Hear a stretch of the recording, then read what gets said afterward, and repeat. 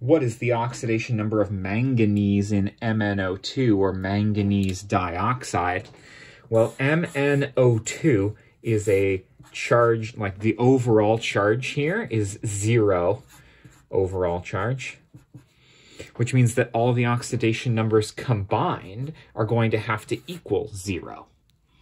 Next, you'll have to know what the rules for assigning oxidation numbers are pure elements, which we don't have here, they're obviously combined together, are always zero.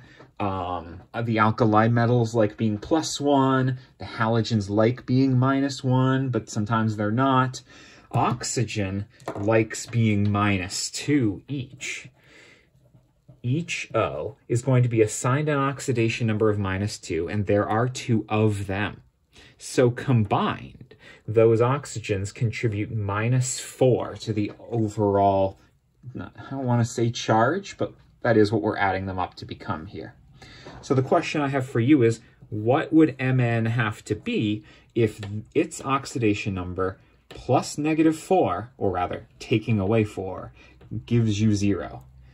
The answer, perhaps, perhaps obviously, maybe, is also positive 4. Positive 4 and negative 4 Cancel to make zero. Beautiful. Now, for oxidation numbers, it is important that you put a symbol in front. You can't have just regular 4. It's supposed to be written as plus 4 very specifically.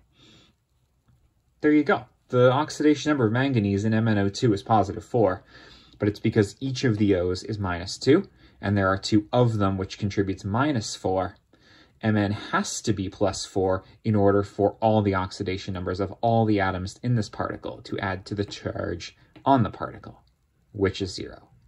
Good job, thanks for being with me, and best of luck.